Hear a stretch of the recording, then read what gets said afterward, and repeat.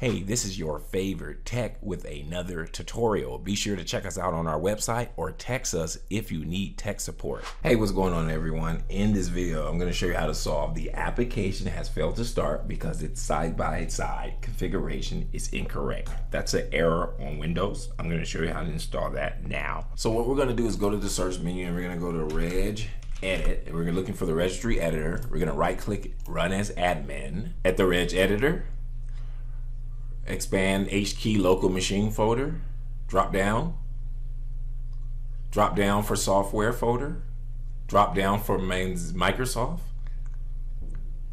We're looking for the Windows folder, follow the path.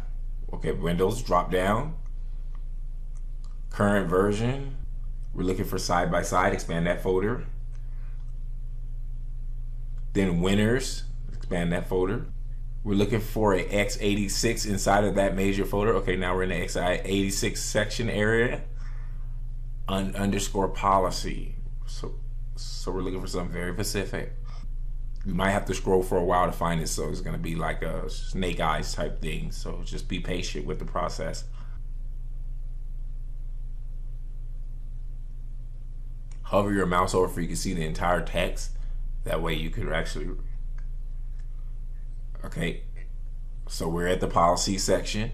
Then we're looking for dot .9.0, dot .microsoft, dot .vc 90, dot CRT. So that's probably the only one you'll see, but it's very specific. Now, now expand that. You're looking for 9.0. This is very specific instructions. We're looking for the key default key so the default data should match the highest number of those two blue files. So 9.15 should match the data number. Double click on default, assuming if it's incorrect, and you type in the highest number.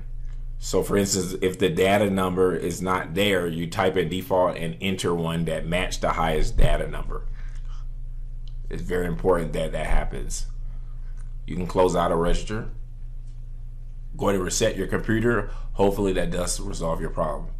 Now another thing you could do is I want you to open up a web browser, doesn't matter if it's Chrome or Edge, and we're gonna download Microsoft C++ runtime drivers. So we're gonna go ahead and go to Google and type in Microsoft Visual C++ redistributables. All right. We're gonna go ahead and select the Visual Studio 2015 one. And essentially what we're gonna do is download and install it. So make sure it's English. You can look at your details here to make sure that it's the one that you want. You're gonna click download. And obviously you're gonna, if you got a 64-bit computer, you're gonna select that, press next, and then it's going to start downloading. You're gonna load it up, press run, agree, and just install it. Just follow the instructions and install it. Once it's installed, reset your computer, and hopefully that solves your problem. Hey, if you found this video valuable, go ahead and return the favor by liking and subscribing to this channel. If you subscribe, type the phrase I subscribed in the comment section below. Keep in mind when you subscribe, it motivates us to continue to make these free videos. Lastly, if you enjoy learning about technology, entrepreneurship, or making money online, go ahead and check out my other videos on my other channel. Thanks for your support.